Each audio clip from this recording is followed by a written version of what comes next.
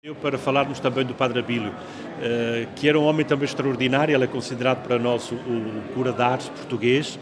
e, é um homem que já é, eh, enquanto Frei Bernardo, um homem que morre jovem, eh, o, Padre Abílio morre já com uma certa idade, mas sempre com a mesma paixão, sempre com a mesma dinâmica. Ele chegou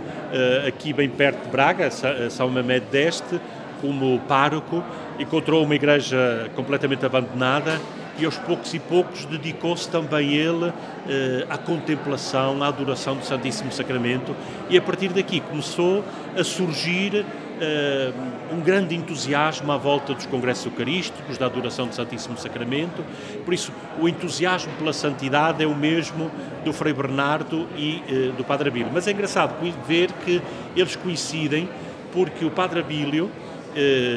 teve uma ação fundamental, importantíssima, na organização do primeiro Congresso Eucarístico em Braga e depois o Congresso Eucarístico eh, Nacional, que nós vamos celebrar também este ano, para recordar o primeiro Congresso Eucarístico, que foi em 1924, organizado pelo Padre Abílio, onde esteve também presente